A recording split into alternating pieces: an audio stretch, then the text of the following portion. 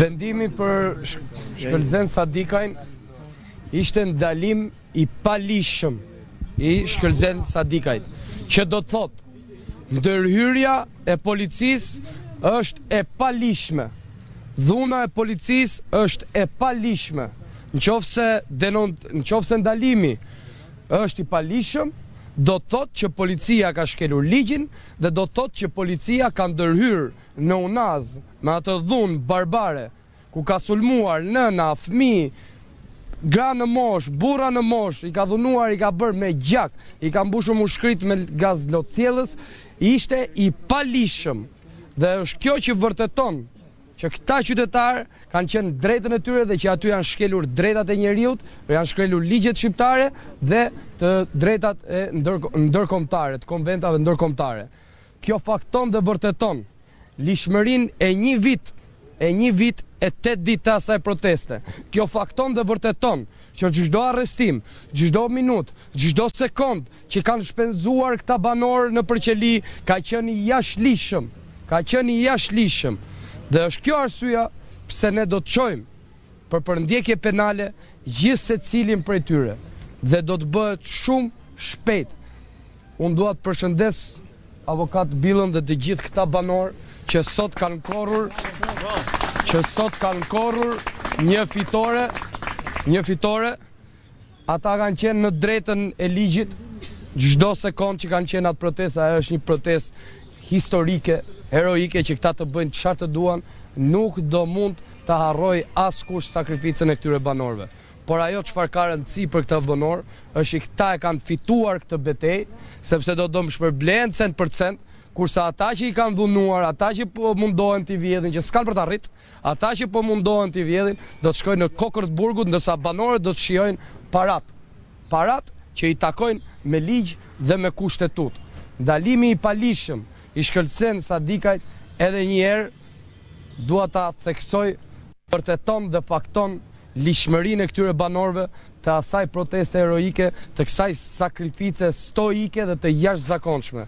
Por mbi të gjitha, kjo, ky vendim vërteton që policia që shkoi atje, ata njerëz nuk janë të denjë për atë uniformë dhe ata që kanë dhënë ato urdhra nuk janë të denjë për ato pozicione, por ata duhet të jenë tek treqind e trembëdhjeta, sepse ajo dhunë shtazore aty, por dhe një herë këtyre banorëve ju lumtë, bravo ju qoftë Keni qenë drejt n'syt të Zotit, tash jeni drejt edhe n'syt ligjit dhe nuk mund të ketë më asnjë analist dhe askush të flasi nëse janë apo s'janë të ligjshëm këto.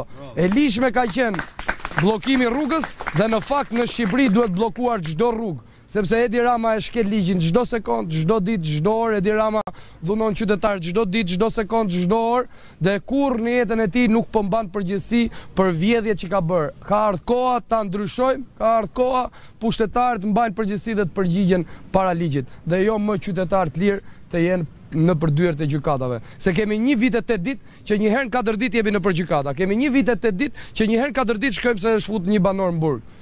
Zoti Balliu, kë do të do të kallëzoni dhe kur do të kallëzoni? Nga Sandër Kimiku që është një njeri i pazgjedhur me votë, i emëruar, që ka vetëm i ka dhënë gaz lotsjellës qytetarëve, asnjë siguri për jetën se bandat bëjnë qejf kudo, tek drejtori i policisë, tek Dallandyshe Bici, e cila zbaton projekte ku motra e vet, Elona Bici, punon. për të bërë projekte në konflikt të pastër interesi tek kryetari i IKMT-së për Tiranë, tek të gjithë, tek drejtori i bashkisë, sepse atje kanë qenë të gjithë forcat e policisë me IKMT, me polici bashkjake, me FNSH, ndaç Tiranës, ndaç nga rrethet, me drejtorët e policisë, të gjithë ishin aty dhe kishin ardhur me misionin për të dhunuar qytetarët në mënyrë barbare. Po ju them dhe një herë, në qofë se në lokalin, e Skënder Dodës nuk do të kishte patur një derë pas, këta banorë mund të mos të ishin sot këtu. Nëse nuk do të kishte patur derë mbrapa, që këta banorë të dilnin, këta do ishin asfiksuar me aq kile gaz sa kanë hedhur këta që unë nuk di çfarë t'i quaj se njerëz nuk mund t'i quaj. Nuk mund t'i quaj njerëz. Projekti është korruptiv, tenderi është korruptiv, projektin asnjë nga këto media që janë këtu nuk mund ta nxjerrë sepse s'ekziston. E kanë zgjeruar në 48 metra. Shtëpia që ju patë që po prisheshe shpëtia e Shpëtim Bilës nuk u kapte nga projekti. Dhe këta që bëjnë sot që flasin, jo që janë legalizu, jo s'janë legalizu, jo kjo e ajo, këta vetë kanë bërë legalizime. Kanë bërë vetë legalizime duke e ditur këtë projekt. I kanë bërë vetë, me dorën e tyre, i kanë mashtruar këta banorë në mënyrën më të pafytyrë. Tani duan t'i vjedhin, po jo vetëm banorët e Unazës, se njëzet milionë euro janë të juajat, ju pagoni taksa në Shqipëri, këta kameramanë, këta qytetarë, gjithkush, unë, këta banorë, të gjithë Shqipëria pagon taksa dhe ato para që po vidhen dhe po futen në xhepat e këtyre pushtetarëve që nuk paskan të ngopur, të ngopur nuk paskan këta njerëz që janë gati të dhunojnë të të bëjnë gjithçka, të të fusin në burg vetëm për t'i vjedhur këto para, ato janë taksat e gjithë juve dhe kjo i përket gjithë juve. Këta banorë i kanë mbrojtur ato njëzet milionë euro për një vit e tetë ditë. Koha që t'i mbrojmë të gjithë milionat e euro që kërkojnë ju, po të gjithë bashkë, të gjithë qytetarët duhet t'i mbrojnë lekët me njëri tjetrin. Nëse qytetarët janë bashkë, nuk ka FNSH e FRM që mund t'i dali përballë, se e marrin përpara. Zoti Balliu, do vazhdojë protesta? Gjithçka do vazhdojë, rezistenca nuk ndalet. Sërish në tjetër vend. Rezistenca nuk ndalet. Mënyra se si do të vazhdohet, ne jemi ende në diskutime, por rezistenca nuk ndalet. Ja siç ju i keni parë këto skena tashi se unë nuk kam çfarë të flas më për këtë, kjo është bër Domethënë nuk ka njeri që nuk e di n'Shqipëri der në Amerikë ka shkuar kjo dhe akoma s'ka një të arrestuar kjo Arta Marku që shkon do të kandidojë atje ka nëntë muaj s'ka thirr një njeri ka arrestuar vetëm këto banorë i shihni gjithë këta banorët që janë këtu të gjithë këta pa përjashtim kanë shkuar minimalisht një herë në burg të gjithë këta më gjeni pak një person që është arrestuar për projektin korruptiv. Më gjeni pak çfarë hetimi ka nisur për Salillarin dhe IKN-n që e kemi denoncuar publikisht. Më gjeni pak çfarë është bërë Me dosjet e Erion Veliaj që i kemi çuar në prokurori që na gjen pemë që bëjnë dy pikë gjashtë milionë euro, më gjeni pak çfarë është bërë me denoncimin e Partisë Demokratike që i kemi çuar dhe në prokurori për dhunën çnjerëzore bërë edhe tek Bregu i Lumit ku shefat e komisariateve godisnin me shpulla tetëmbëdhjetë vjeçaret dhe i keni parë në video ju i keni nxjerrë ato tani këtu duhet ngritur Pyetja, zotëri, ku janë njerëzit përgjegjës për këtë aferë korruptive? Kjo është një nga protestat më të gjata në vend, zoti Balliu. A keni ju një shifër se sa është numri i banorëve të Unazës së Re të cilët janë marrë në hetim? Sa është gjithë statistika, gjithë të dhënat përfundimtare deri më sot? Mbi, mbi 300, mbi, mbi 300, mbi 500 veta, dhe më janë pa fund. Do kërkojnë banorët një dëmshpërblim edhe për faktin se si ata janë hetuar dhe se si ata janë shoqëruar në komisariate dhe janë mbajtur në paraburgim? Ju falenderoj shumë për pyetjen, shumë e drejtë. Dhe përgjigjen besoj që edhe ju vetë e dini. Tani ky arrestim u shpall i paligjshëm. Kush mban përgjegjësi për vuajtjen e djalit? të Shkëlzenit. Ja ku është. Ku është? Kush mban përgjegjësi për vuajtjen. Shteti austriak i ka pre biletën sot që të marrë në Spartakiadën e Vienës, do marrë pjesë. Ja ka paguar shteti austriak. Ja kush është krimineli. Ky i duket kriminel apo? Kush do t'ja pagoj vojtjen e atij fëmis? Kush do t'ja pagoj? Tani Shkëlzen Sadika që kanë ndejtur 2 ditë në një vend ku duhet të rrinë kriminelët, ku Shkëlzen Sadika jo vetëm që s'është kriminel, po ai dhe këta banorë janë herojt që i mbrojtën 40 milionë euro, këta janë gjithë për të dekoruar.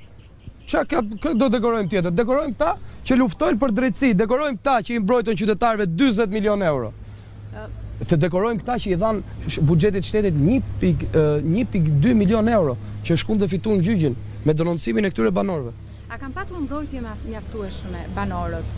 A kishin ata një mundësi t'i drejtoheshin dhe Gjykatës së Strasburgut, përderisa vendi nuk ka as Gjykatë Kushtetuese dhe as Gjykatë të Lartë? Përse nuk është parë kjo mundësi t'i drejtoheshin Gjykatës së Strasburgut për shkelje thelbësore të të drejtave të njeriut, sikurse është e drejta e pronës? Neve kemi marrë çdo masë, qoftë për, tani ja t'ju them unë, mbi shtëpinë e rrënuar të banorit, banori sot, U zgjua te komshiu, tek miku i tij, dhe ç'ishte hapi i parë i tij?